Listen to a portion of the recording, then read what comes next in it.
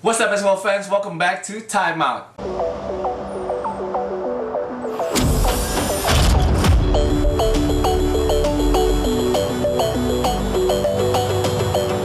Balik bareng gue Padilla dan di video kali ini kita akan ngomongin tentang tim favorit gue yaitu Los Angeles Clippers Siapa yang nyangka nih kalau Clippers bisa nomor satu di wilayah barat saat ini Gue pun gak nyangka dari awal season malah gue memprediksi Kalau Clippers mungkin ada di luar zona playoff Mungkin di urutan 10 atau 11 Tapi ternyata mereka uh, membuktikan kalau gue salah dan mereka sekarang memiliki rekor 14 kali menang dan 6 kali kalah.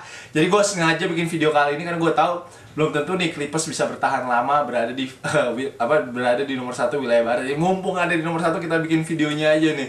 Akhirnya Doc Rivers pelatih Los Angeles Clippers ini uh, fokus sebagai pelatih aja nih nggak jadi uh, presiden. Kalau tuh dia tahun lalu tuh jadi presiden tim dan juga jadi pelatih. Itu sebuah pekerjaan yang susah banget seperti Stan Van Gundy contohnya juga di Detroit Pistons dia juga mengemban dua posisi itu sehingga Pistonsnya nggak bisa sukses juga. Tapi sekarang akhirnya uh, Doc Rivers melepas sebagai presiden tim dan akhirnya fokus jadi pelatih. Dan kita bisa lihat hasilnya musim ini uh, di home pun uh, Clippers berjaya banget ya. Mereka menang 10 dari 12 pertandingan kandang mereka. So uh, Staples Center been really nice to the Los Angeles Clippers. Tapi juga gue jujur gue bilang di Clippers itu nggak ada superstar ya. Jadi tapi uh, ada yang pemain dengan nama Tobias Harris. Ini mungkin superstar in the making nih paling nggak nih untuk Clippers. Karena uh, dia adalah top scorer ya dengan 21 poin per game dan juga 8,8 rebound per game. So Tobias Harris menurut gua kalau bisa konsisten dan juga Clippers berada di posisi 1 atau sampai 3 sampai All Star break,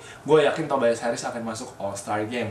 Lalu second name ada Danilo Gallinari dengan average 19 poin dan juga 6 rebound per game. Ini kok Danilo kok masih deg-degan ya karena kita tahu injury history-nya Danilo tuh buruk banget ya, sering banget miss mungkin half of the season atau juga more than that kadang-kadang. Tapi uh, season ini sih untungnya baru miss satu game doang di lawan Atlanta Hawks. Tapi gue harapkan Danilo Gallinari bisa stay healthy. Ini karena kuncinya banget untuk Clippers bisa sukses di season kali ini. Dan kalau Danilo bisa main 70 sampai 75 game aja itu udah syukur-syukur banget sih untuk Los Angeles Clippers. Tapi selain dua pemain itu yang bikin gue kaget adalah juga Montrezl Harrell. Nah Montrezl Harrell ini nih uh, apa ya kayak waktu sebelum season tuh belum tentu di sign sama Clippers tapi tiba-tiba akhirnya diambil sama Clippers dan dia field goal percentage paling tinggi di tim dengan 64% plus poinnya dia juga 15,8 poin per game and 7,1 rebound per game malah jadi Montrezl Harrell ini malah boleh dibilang lebih berdampak ya dari off the bench Clippers saat ini daripada Lou Williams jujur. Tapi uh, Lou Williams kalau gue bilang sekarang ini uh, average-nya 18 poin per game ya kalau dia tapi menurut gue tuh belum reach his apa ya performance biasanya gitu tahun lalu kayak sebagai calon six man of the year gitu.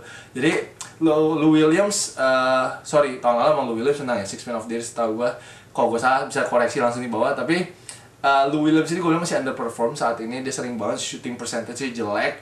Uh, tapi selalu clutch sih untuk Clippers sih. Dia selalu always came through yang penting di quarter 4 untuk Los Angeles Clippers. So uh, itu empat pemain yang menurut gue uh, kuncinya untuk Clippers tapi ada satu pemain ada dua pemain lagi lah yang gue harapkan bisa konsisten juga yaitu Avery Bradley sebagai number one defender di Los Angeles Clippers plus rookie mereka Shai Gilgeous Alexander and masih ada juga Patrick Beverly so ini ada tujuh pemain rotation yang menurut gue rotation yang menurut gue tuh solid banget untuk Clippers. So hopefully they can continue this trend plus please Doc Rivers mainin Boban lebih banyak lagi karena menurut gue Boban juga lumayan efektif ya untuk Clippers hari ini juga mencetak kalau 12 poin 10 rebound lawan Phoenix Suns. So Hopefully besok lawan Sacramento Kings bisa menang lagi dan bisa stay number one in the Western Conference kapan lagi kan? Dan season ini pun mereka udah ngalahin Houston dua kali, Golden State Warriors, udah ngalahin Memphis Grizzlies dan kemarin baru ngalahin Portland di Moda Sanders. So ini juga quality wins juga ya untuk uh, Los Angeles Clippers nggak hanya lawan tim-tim yang emang di bawah 500 gitu, tapi kita lihat aja sejauh mana uh, Clippers bisa bertahan sampai nomor satu di West, kalian tinggal ini prediksi kalian menurut kalian Clippers akan finish nomor berapa nih season ini? Apakah akan masuk playoff atau enggak? Dan mungkin bisa nggak sampai masuk ke semifinal Western Conference? Nah, nah kalian tulisnya langsung di bawah. Lalu, thank you guys for watching. Jangan lupa untuk like, jangan lupa untuk komen, dan jangan lupa untuk subscribe. And thank you guys. I'll see you next video. Peace.